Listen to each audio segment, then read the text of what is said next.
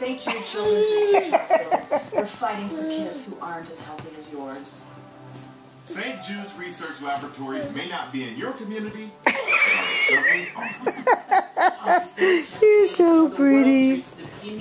Brain tumors, and sickle cell Elizabeth, sit down. And no family Honey. ever pays St. Jude No. for anything.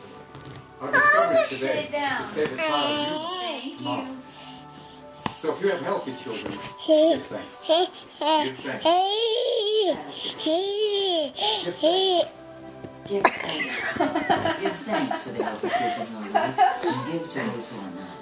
Go to stjude.org or shop wherever you see the St. Jude logo.